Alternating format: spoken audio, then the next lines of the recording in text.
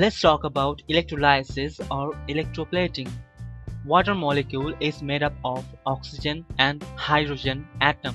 In 1800, William Nicholson showed that if we pass electricity through water, water molecules will break down and produce oxygen and hydrogen. But what's great about that? Well, not only water molecule, we can decompose or break down molecules of other electrolytes to get simpler substances. This chemical process is called electrolysis. Now, let's look at the application of electrolysis. Wow, that's a beautiful golden necklace. Actually, it's not pure gold. It's gold plated, means it is made of a cheaper material and there is a coating of gold over it.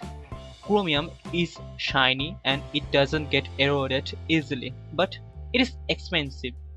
So, we can make objects with cheaper material like iron and then put a shiny coating of chromium over it and this is done with the help of electrolysis. Here we have an iron key. If we coat it with other metal like copper, nickel, etc. that doesn't get rust, we can use the key for a long time. The process of depositing a layer of any desired metal on another material by means of electricity is called electroplating. Let's do it ourselves. Let's see how to deposit copper on iron.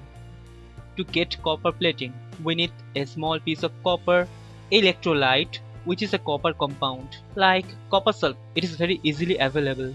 5 volt cell or 9 volt is enough to supply required electricity.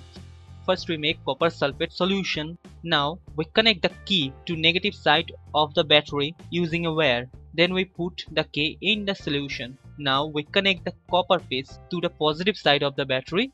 You may add a switch to start and stop electricity flow.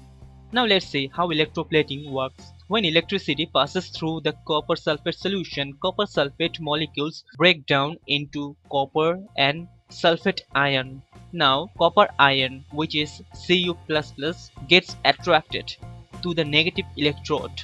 Here the negative electrode is the key then copper ions receive electrons from there and it turns into neutral copper atoms thus copper is deposited on key. When copper is deposited on the key copper plate supplies copper ion to the solution and that's why copper plate starts eroding. Now this way we can get nickel plating too. To get nickel plating on a key we use piece of nickel instead of piece of copper as positive electrode and we use a nickel compound as electrolyte like nickel chloride or nickel sulfate. These are very easily available. Electroplating is very useful. Iron is very cheap, however iron tends to corrode and rust. So we can make things with iron to make it strong and then put a coating of nickel, zinc, chromium or tin to make it more durable and all thanks to electrolysis and William Nicholson.